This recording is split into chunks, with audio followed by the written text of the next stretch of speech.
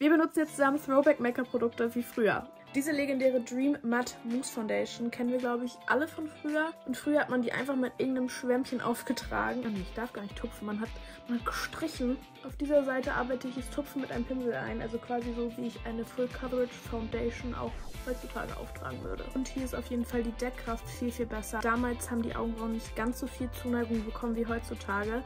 Aber wir benutzen dieses legendäre Gel von Essence. Ich kämme sie aber ein bisschen dünner, dass sie optisch ein bisschen dünner erscheint erscheinen.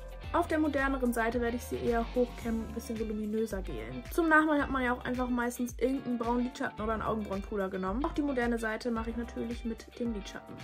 Ich denke, so würde man heutzutage eher seine Augenbrauen ausfüllen. Ein bisschen haarähnlicher und natürlicher.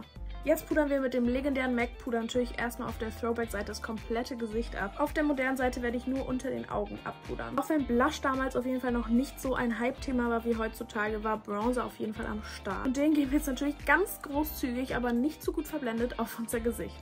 Und auf dieser Seite werde ich das eher ein bisschen Contouring-mäßiger auftragen. Wer kennt sie nicht? Die legendäre Great Lash Mascara. Die hält wie erwartet den Schwung bei mir leider gar nicht. Ich werde jetzt hier wasserfeste Mascara auftragen. Auf dieser Seite habe ich mir jetzt ganz klassisch den Kajal auf der Wasserlinie gezogen und auf der Seite werde ich auch ein Kajal anwenden, aber damit einen Wing machen. Was darf natürlich nicht fehlen? Eine MAC Lippenkombi. Wir fangen an mit dem legendären Whirl Lip Liner von MAC.